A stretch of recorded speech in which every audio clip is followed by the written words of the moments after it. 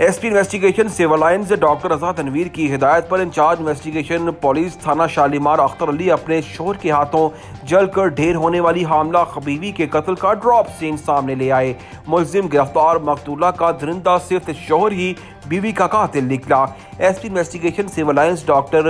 Raza Tanveer ने अपने दफ्तर में प्रेस कॉन्फ्रेंस करते हुए बताया कि चार साल कबल फ़ोन कॉल के ज़रिए शुरू होने वाली मोहब्बत की शादी का हुआ भयानक अंजाम कि दरिंदा सिफ्त शोहर ने जायदाद के लालच में आकर अपनी 28 साल हामला बीवी मेमुना को सांस बंद करके मारने के बाद आग लगाकर जला दिया था। दरिंदा सिफ्त शोहर ने खुद ही वन फाइव पर कॉल करके इस वाक़े को हादसाती वाक़ करार दिया। लेकिन इंचार्ज इन्वेस्टिगेशन शालीमार अख्तर अली और इंचार्ज इन्वेस्टिगेशन मजंग मोहम्मद साजिद ने D I G investigation Lahore के हुक्म पर मकतूला की वालदा की मदैत में मुकदमा दर्ज होने वाले कत्ल के मुकदमे में शोहर को शामिल तफ्तीश किया और असल मुआयना सामने ले आए।